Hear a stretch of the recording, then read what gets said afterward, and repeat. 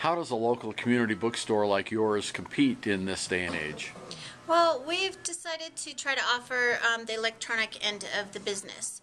Um, everybody has gone to a lot of e-readers, um, the electronic books, and so we try to keep up with the times, and we now offer e-books to all e-readers. And so the publishers have really helped us to try to um, compete with the large chains. They try to make it so that it's a level playing field where um, they don't allow certain books to be put on a discount so that everybody gets to charge the same price for the books.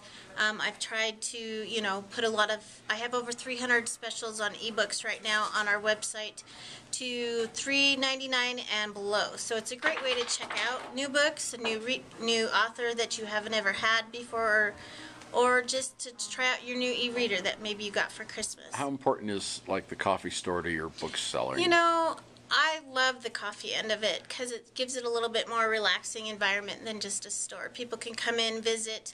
They don't have to feel pressure that they have to buy a book. They could come in and pay a dollar for a cup of coffee, sit and visit, see friends, have meetings, um, just kind of enjoy themselves. Mm-hmm. And you have Wi-Fi here. We do free Wi-Fi, yeah. Yep, and we, you know, allow people to come in and stay as long as they want to use our free Wi-Fi and sit and relax and work on their computers.